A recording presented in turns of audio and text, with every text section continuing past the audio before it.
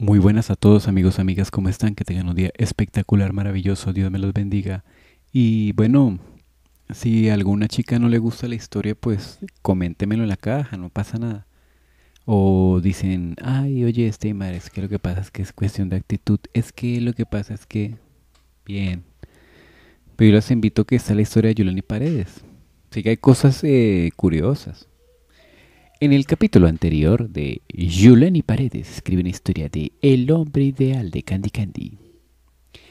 Candy estaba haciéndole una entrevista a Albert Andre, pero Albert Andre, no sé, como que se le abrió el apetito y entraron cinco chicos y le dieron tremenda bandeja y empezó a comer. Era una bandeja con camarones y con comida del mar.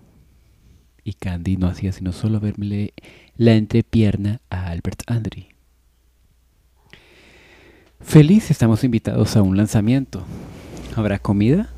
De toda clase. Fíjate que es el Palace Hall de Chicago. El Palace Hall de Chicago. Sí, qué emoción, ¿verdad? Ponte linda, ese día bailaremos toda la noche. Sí. Si nos deja Michael, ¿él va? Nos invitaron a todos, así que será la mega fiesta. Ojalá no se pongan como la otra vez que nos invitaron a la cata de ron, ¿te acuerdas? Claro, solo nos dieron tres tragos y quedamos con ansias de más. Pero que Michael se aguante. Me darás por lo menos cinco piezas. El que se consiga un amigo. Tengo tiempo. Que no estiro los pies. Yo tampoco, por cierto. Te he visto salir mucho con mi compañera. Ah, sí, es que vive cerca de mi residencia. Tomamos el mismo bus. ¿Celosa? no. En ese momento me despedí de mi querido Steer y cogí el tren para ir rumbo a mi departamento. Es un lugar pequeño, pero cómodo. La casera es un poco ortodoxa, moralista. Me deshice de los zapatos y el abrigo un tanto pesado. El ambiente es de siempre. Sala, baño, cuartos oscuros, a espera de una hermosa mujer que les ilumine cada espacio de su belleza arquitectónica. Sí, que me pongo melancólica, 26 años y tengo a mi disposición este cómodo apartamento que pagué en cuotas y mi fiel laptop que tengo aquí. El mismo fastidioso de siempre y pensar que me gustaba cuando estudió conmigo el primer año de la carrera. Me parecía fascinante hasta que un día me envió unas imágenes demasiado explícitas. Dudé de lo que había hecho intencional. Sin embargo, después de algunas bromas por vía chat, me quedó claro que sí fue intencional, por lo que le dije, eres enfermo. Si quieres hablar de porno morboso enfermo, búscate una página de esas. Y el sinvergüenza me respondió, ¿tú tienes una? De inmediato le escribí, vete al diablo. Ahora veo que esos mensajes como que no le quedaron claros. Me gusta cuando me parecía inocente, le voy a pedir fotos desnudo y le colgaré en el Instagram para que quede al descubierto. Ni que perder el tiempo, mejor descanso ya mañana, será otro día.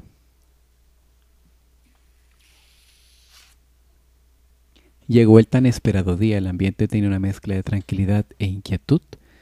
Los invitados vestían casuales.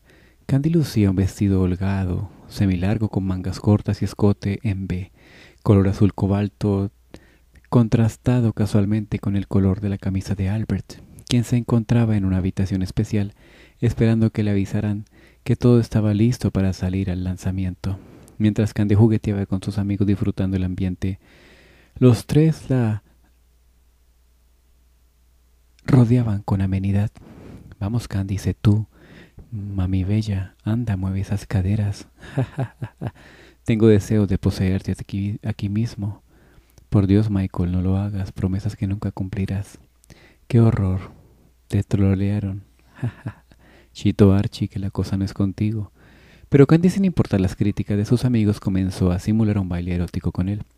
Te volveré un macho. La voz de Candy se tornó ronca al tiempo que le gruñó como una leona. Mamito, eso nunca pasará. A su alrededor cantaban y aplaudían al ritmo de la canción de Mark Ronson, Uptown Funk, de Bruno Mars. Candy. Sí, jefa. Candy respondió a medida que se arreglaba las arrugas imaginarias de su vestido. ¿Qué pasó, Ken? No te veo activa. Estás en un lugar de de coro, no en un bar. Ve y busca al jefe de prensa. Albert había observado la escena desde lejos. Su asistente entró en la oficina. Señor, disculpe. La reportera de Financial Times le está esperando. Gracias. Candy le guardaba sentada en una de las mesas. Se levantó apenas, lo vio. Hola. Te ves radiante, saludó amigablemente. Candy simpáticamente se dio vuelta para afianzar lo dicho. Gracias. Seguí el consejo de un buen amigo. No me agradan las sandalias altas, pero él me insistió en que me hace lucir regia. Créame, acertó, expresó con una sonrisa afable. ¿Es su amigo Michael? No. A él también le agrada la moda, pero más versátil es Archie. Tiene una capacidad de combinar colores, es el mejor diseñador gráfico que haya conocido. Me gusta mostrarle sus diseños. Él quiere tener una franquicia.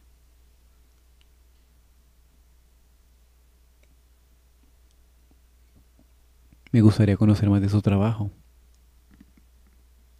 Qué galante su traje es también fascinante. Háblame acerca del teléfono desplegable. ¿Cómo lograron la tecnología?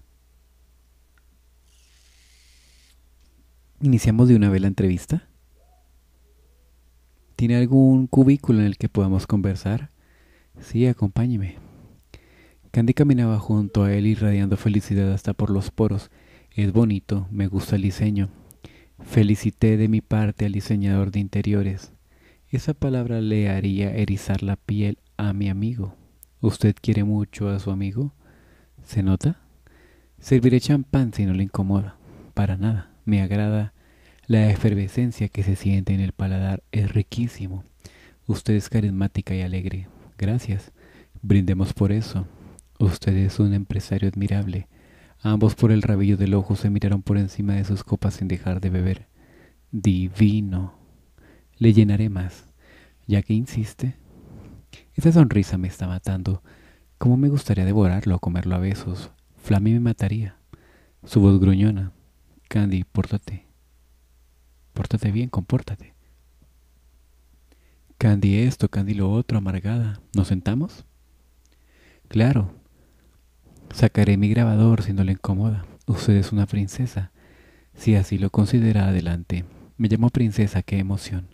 Albert le señaló el sofá para que se sentara.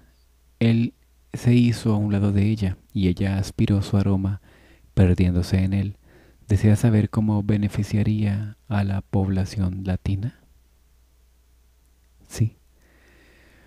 Nos asociamos con representantes a las cámaras de comercio de los países México, Honduras, Colombia y Nicaragua para instalar fábricas que garanticen el empleo fijo al trabajador con una propuesta salarial que se base en la producción. ¿Producción? ¿Serían socios? Porque siento que pregunté una burrada. Actitud Candy, vamos, sigue. No, pero les permitirá obtener un salario digno al saber que ganarán un porcentaje justo por cada pieza que elaboren. ¿De cuánto es el porcentaje justo? Cada país maneja una estructura de costo diferente por lo que nos guiamos de él. El si el per cápita varía. Disculpe, el fotógrafo va a pasar. Si no le incomoda estará presente en la entrevista, tomará fotos. Ah, claro, por supuesto. Albert otra vez se acomodó el pantalón hacia arriba para asumir una postura más relajada y a Candy nuevamente casi le, se le desorbitaron los ojos al ver lo que ella demonía denomina un buen paquete.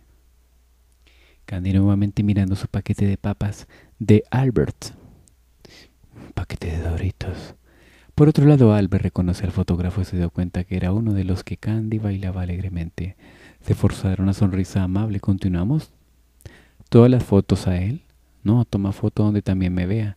Le hizo un guiño a Steer. Este le devolvió el cumplido con un gesto de complicidad. Si quiere, siéntate a mi lado. Si usted insiste, Stick lo fotografió en distintas dimensiones. Una vez terminó la sesión fotográfica y la entrevista, salieron. ¿Se quedará a disfrutar del brindis? Los presentaré a los socios, así podrá tener más información. Encantada. Esa música de fondo es bonita. ¿Me concede esta pieza? Sí. Albert sujetó a Candy por la cintura, ella se aferró a él y al ritmo de la balada la guiaba en sus pasos como si fuera un vals. En ocasiones se distanciaba un poco para hacerla girar y voltearla a tomar en sus brazos.